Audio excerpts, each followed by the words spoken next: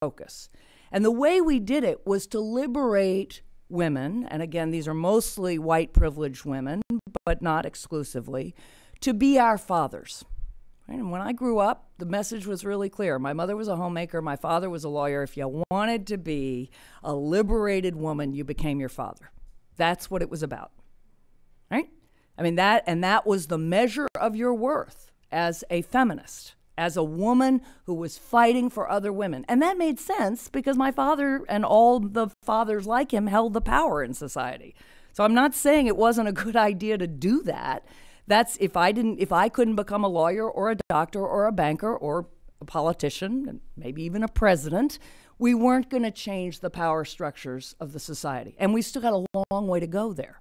And we know that. We're still in, we're 15% of leaders in a good industry, 20 at most, 5% in a bad industry, like finance or lots of the sciences. So we still have a long way to go on the project of liberating women to hold the positions that men once held and still do hold. But along the way, we, we valued women only to the extent they could become men. And we devalued women's work, traditional women's work. My mother's work didn't want to do that, right? No way. You didn't want to be a homemaker.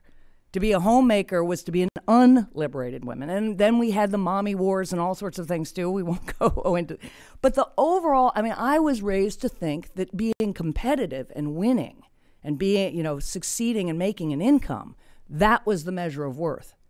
Being a caring person investing in others, taking care of children, taking care of parents, taking care of siblings and spouses and friends, that work was much less important than the work of competition. That caregiving was much less important than breadwinning. And note that winning is built right into the way we think of earning a living. Right? We call it breadwinning and caregiving. That has to change because, in fact, society only works when you both earn an income and allow people to pursue their passions and their goals and uh, compete. And competition's a great thing, right? It drives all sorts of, of great outcomes.